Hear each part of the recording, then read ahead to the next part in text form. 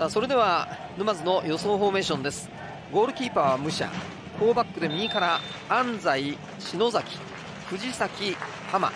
そしてアンカーに菅井。その前に徳永と持井。フォワードは右から森。ブラウンノア賢信。左に鈴木拳士郎です。それではアウェー鹿児島ユナイテッド FC の予想フォーメーションです。ゴールキーパーは松山健太。こちらも4バックで右から星広瀬岡本渡辺。ボランチは2枚です。木村中原。そしてその前に3人。右から今日は福田が入っています。真ん中にロメロ・フランク。左に遠藤。ワントップに藤本紀明が帰ってきています。中をじっと見ています。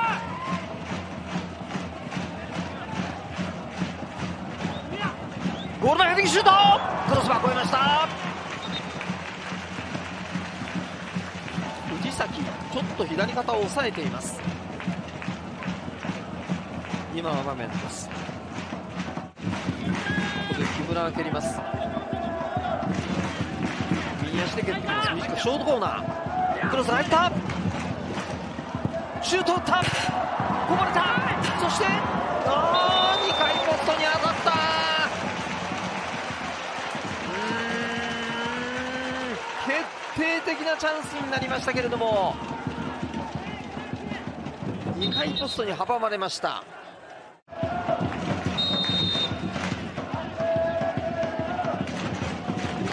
ゴール前。シュート。キーパーの正面でした。木村は裏を抜けた選手は使えませんでした。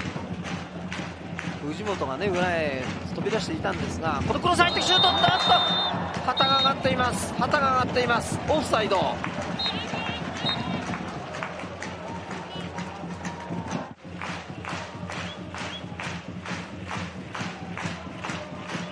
さてあ今持ち行きましたがな？かなか前すみません。これはブランドー謙信つないやつないつないつないシュート打った！決まった！決まった！ゴーゴーゴ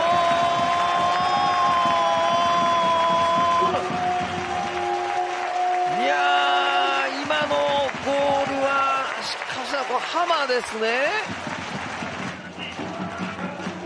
今の場面なんですがここで倒れてここで浜が拾ったんですね。そしてそのままゴール前に走っていきました。ブラウンドン検事から受けてそしてシュートを決めました。この場面です。ここでブランドンもよく見ていました。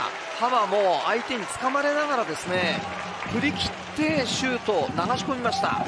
ブランドン検診のこのパスも非常に良かった。浜の今シーズンのこの初ゴールになりました。1対0森。左にアタック。鈴木健志郎中に入ってくる。ゴール前こぼれた。あー最後はダメか。22番の篠崎でした。最後飛び込みました。また鹿児島ボール奪った。まだチャンスがある。さあ竹だ竹竹18歳。クロスが入る。ゴール前こぼれた。端かに返した。安西が跳ね返しました。今度は鹿児島ボールをつないでいますが。さあこれ鹿児島チャンスか。インターセプト。沼津。さあカウンター。ここでまた今度は藤崎が行っているセンターバック藤崎。シュート打った決まったゴール素晴らしいゴールだ藤崎今シーズン3点目沼津2対0ここは見事でした。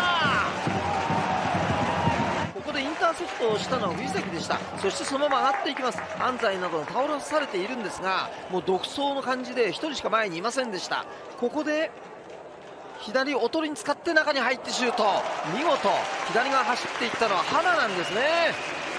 見事な連携でした。そして素晴らしいシュートでした。遠山つなぐ。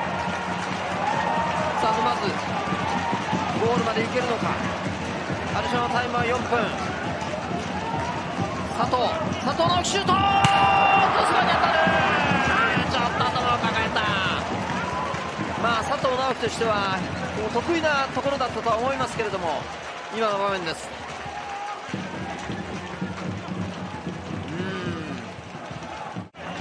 うん。もうほとんど時間はありません。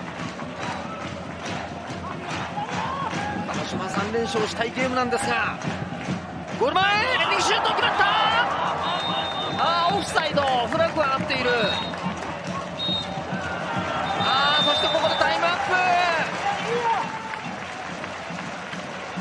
プ。ここでタイムアップ。中山雅史監督。これで勝ち点3をまた積み上げました。沼津の勝ち点は、まあ、これが8勝目になりました。8勝6分け4敗。